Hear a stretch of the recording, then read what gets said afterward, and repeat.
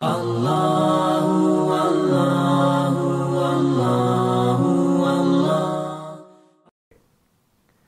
اگر استغاثہ سمجھنا چاہتے تو شہزادی کونین کی بارگاہ مقدس میں دو رکت نماز استغاثہ،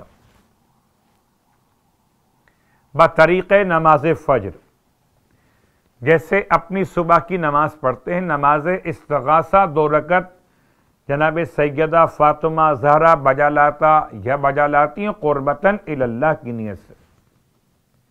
اور نماز پڑھنے کے بعد طریقہ استغاثہ میں آسان آسان الفاظ میں اپنی پیشانی سجدے کے عالم میں رکھیے اور سو بار یا فاطمہ یا فاطمہ یا فاطمہ، پھر دایاں رخسار رکھیے۔ سو بار یا فاطمہ یا فاطمہ یا فاطمہ۔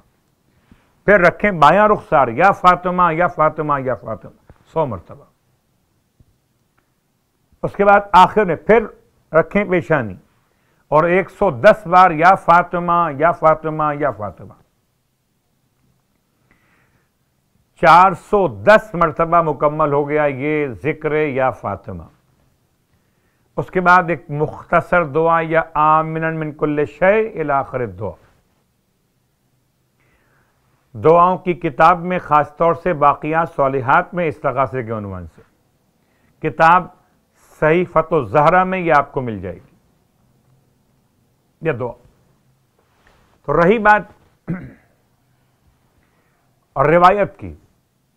اس سے بات کو ملاتے فرشتے سجدے کے عالم میں ہیں۔ سجدہ کیوں کر رہے ہیں؟ نور سیدہ کی روشنی سے متاثر ہو کر۔ آپ استغاثہ کیوں کر رہے ہیں؟ وسیلہ فاطمہ زہرا سے متاثر ہو کر۔ ان کا سجدہ، ایک آپ کا سجدہ۔ ان کی تصویر ان کی تحمید۔ آپ کی گفتگو، یا فاطمہ یا فاطمہ یا فاطمہ۔ تو شہزادی کونین کے نور مقدس کے اعتبار سے نماز استغاثہ، آنکھوں کے نور کی دعا، دعائے نور خود بخار کے دفعیے کے لیے۔